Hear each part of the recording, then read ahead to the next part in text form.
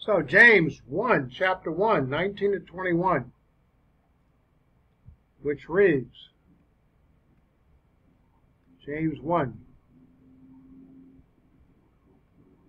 You read James chapter 2. You jump to there? Don't. Master chapter 1. Find out what salvation is there because James is addressing in chapter 2 those who are believers by virtue of 1, 19 to 21. This you know, my beloved brethren. What do you think these are? Believers!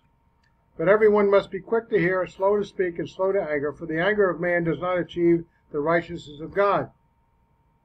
Therefore, putting aside all filthiness and all that remains of wickedness in humility, receive the word implanted. It's already implanted in you. You're believers, which is able to save your souls. It's planted in you to save the value, the preservation of the length of your years and the value of your life for eternal rewards. And prove yourself doers of the word. You're talking to believers here. Now you go into James chapter 2. We're not talking about salvation unto eternal life there. We're talking about brethren here. Salvation later on is how you act as a believer in James chapter 2. Faith without works is dead. It's inactive. Can a man without works be, be saved? Save your soul. The value of your man without works, can you have a valuable soulish life, physical life, that will earn rewards in heaven? No. You can't have salvation of your life if you haven't been faithful, but you can have salvation if you believed. Two different concepts. In any case, James 1:19 to 21 is definitely not a salvation unto eternal life a passage, eternal, eternal life passage. The two conditions given, not practicing sinfulness and receiving God's word with respect to living righteously, are repeatedly given in Scripture as conditions for believers to meet for discipleship and not for unbelievers to satisfy in order to be saved.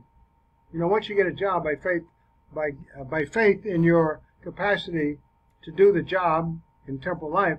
Now you got to keep faithful at the job to keep the job, but not here, not salvation. You keep your salvation whether you're faithful or not.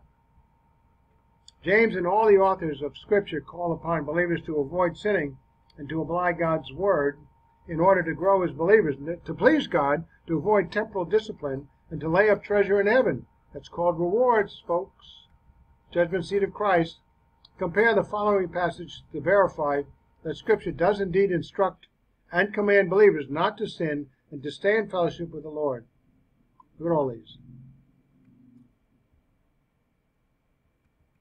The key to understanding James's epistle is understanding that James is saying that the believers are to serve God instead, and not instead to serve themselves or instead their fellow man. James is telling fellow believers in 1 James 1, 19 to 21 that they must give up their sinful lifestyles and start obeying God's word in order to save themselves from losing their physical lives on earth, from early physical death, which includes the cutting short of the time the soul spends on earth in the physical body doing the Lord's work or not. For the soul departs from the body upon physical death. If nothing was produced by that soul while in the body due to sinful lifestyle, then that soul has wasted himself and will have nothing to show for the time, his time of worth on earth, his temporal life, will have been worthless. What kind of rewards did he get for that? None. Nothing he did will be saved into heaven for all eternity. Thus we have arrived at the meaning of James 2.14, which was discussed on page 16, on the previous page. I'd say discussed earlier. James 2.14, this is part of my term paper here. What use is it, my brethren, if a man says he has faith, but he has no works? Can that save faith him? Faith, uh, save him? From premature physical death and loss of eternal rewards? Answer no. Good idea when you become a Christian. Go to 1 John 1 9, talking about how to stay in fellowship with God so you don't lose your salvation. It's a matter of confession of known sins, a moment to moment. And look up in the back if you have a good index in the back. You should have one. And look under the words rewards. Matthew 24:13 continued, but the one who endures to the end, it is he who shall be saved. Compare other passages which deal with the subject of the physical death of a believer, of not enduring to the end of one's appointed years on earth due to a sinful lifestyle. I would say early, not according to your appointed years. You have appointed years, but you can cut that short. Just test God by turning your back on Him. See how long you last. The following passages indicate the consequences of a believer, to a believer, for a persistency sinful lifestyle, a life without much divine good production. 1 Cor 8, 9 to 11. A Christian perishes, dies due to a weak conscience and his consequent sin. A believer dies physically because he violates the sharing in the Lord's Supper with serious mental attitude sin. 1 Cor 11. 1 John 5. The sin that leads to physical death in a believer is indicated as the truth. Leviticus 10, 1 to 2. Aaron's sons, Nadab, and Abihu, die immediately of their sin before the altar of, of the Lord. Acts 5, 1 to 11. Husband and wife physically die due to sin. Ananias and Sapphira. Although immediate death of a believer due to sin is not the norm, sometimes Scripture warns that the sin will cut a life short. Ezekiel 18, 4 and 20. The soul that sins shall physically die. Nephesh, the soul, the invisible and immaterial life principle of a living being, as in Genesis 2 7. Proverbs 10:27 The fear of the Lord adds length to life. There you go. Fear of the Lord, acting faithfully. But the years of the wicked are cut short. Doesn't say that they don't have eternal life. Now you can be a, a, a extra wicked unbeliever and die early as well. Ecclesiastes 7:17 Do not be over wicked and do not be a fool. Why die before your time? Proverbs 11:19. The truly righteous man, the believer who stays in fellowship with the Lord, don't forget to confess, attains longer physical life. Life is physical life. But he who pursues, pursues evil, whether believer or unbeliever, goes to his physical death before his time. Everybody dies. So obviously, we're talking about living out the length of the years that God has appointed, or having God cut that short. Proverbs 14:27. The fear of the Lord fearing and thereby obeying him. The fear of the Lord is a fountain of life. Fountain is a source or a well of spring. Life is physical life. The fear of the Lord is a fountain of life to turn away one way from the snares of death. Snares of death, those traps, allures which tempt the believer to sin, and thus hasten one toward early physical death. James 1.15 Sin, when it is full grown in the believer, brings forth physical death. James 5, 19 to 21. The believer who enables another believer who is sinning as a matter of course in his life to turn his life around will save that sinful brother's soul, believer's soul. In other words, save his physical life. There is much to be said for the value of the inner peace and joy which obedience to God's word brings. I have that. I just have a problem with my temporal life being unhappy. I have to focus more on eternity. Some of the unhappy things in this life brought upon by just my constantly sharing my faith. That's part of the job. This inner peace and joy provides a longer life of better quality than the life shortening, depreciating value of turmoil, guilt, and bitterness and anger, etc., which disobedience to God's word brings. Finally, let's ask the question if any of this benefit to longer life can apply to unbelievers or even to salvation unto eternal life in heaven, is James speaking to unbelievers in his letter? Is James speaking about eternal life? All of the exhortation James does to his readers to repent and clean up their lives cannot apply to unbelievers. Unbelievers cannot accomplish this because they cannot please God. They are slaves to sin and do not have the capacity to repent and clean up their lives. Compare Romans 8, 5 to 8. Therefore, James' appeal, James's appeal, must be to fellow brethren believers.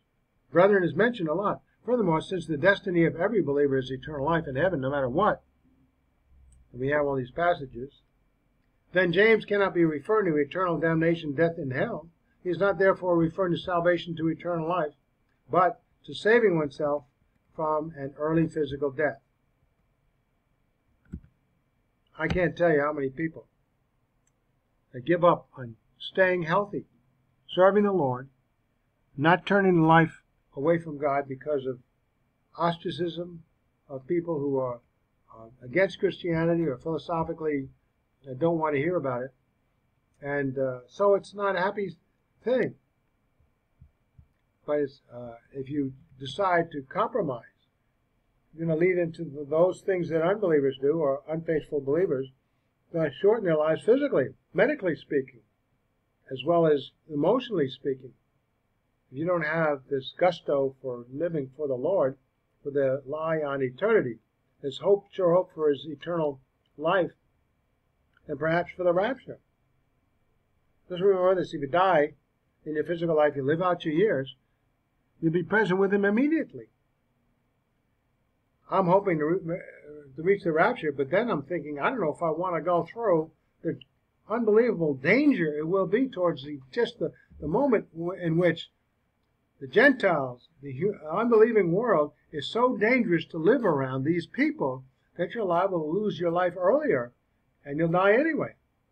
So, and, and perhaps in a more peaceful time, if I go before the rapture and go to be home with the Lord, uh, in, in a natural setting, my demise will be a lot more peaceful. So returning to our passage in Matthew 24:13. But the one who endures to the end, it is he who shall be saved. The believers of the tribulation period are in view, not you and I.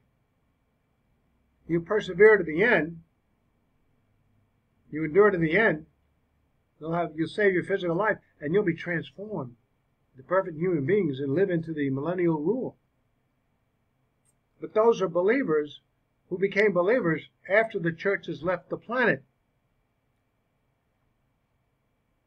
So, the believers of the tribulation period, non church believers, that's the Mosaic Law period, the last two, uh, last seven years, the leaders of the tribulation period who are faithful, who endure in their walk with God to the end. That'll be really, really tough. Will physically survive the tribulation ordeal, and I mean an ordeal, and will continue to remain physically alive in their natural bodies and begin life in the millennium period under God's rule, Christ's rule, having been transformed into remarkably uh, in, uh, enduring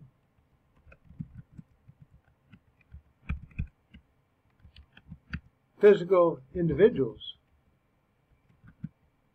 who will live on into the millennial kingdom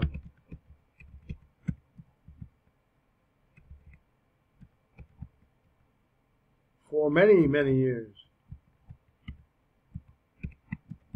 Many years, as in the times before the flood.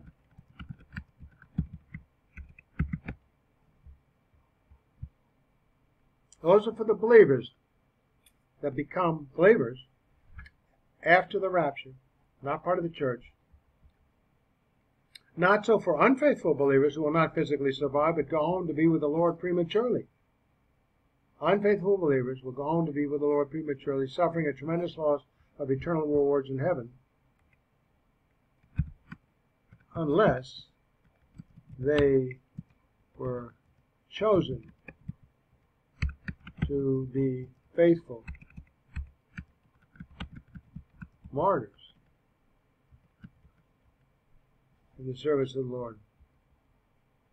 Also, those believers whom God has chosen to be martyrs will also not be physically surviving to the end, but will receive the tremendous crown of rewards for going up, up, giving up their life for the Lord and all that that entails in eternity. Finally, at the end of the tribulation, physically surviving unbelievers will be put to death by our Lord and then cast into the lake of fire. So, at the end of the tribulation period, physically surviving unbelievers will be put to death by our Lord and then cast into the lake of fire for eternal condemnation. That's called the judgment of nations. Don't confuse that with the uh, great white throne judgment or the rapture and they're different times for these events. These words of the Lord have an application beyond his own lifetime. What was proclaimed here was more fully demonstrated in the apostles' lives after the day of Pentecost in the spread of the gospel of the church. But these words will find their fullest manifestation in the days of the tribulation period when the gospel will be carried throughout the entire world, not just AD 70's world, before Jesus Christ returns in power and glory to establish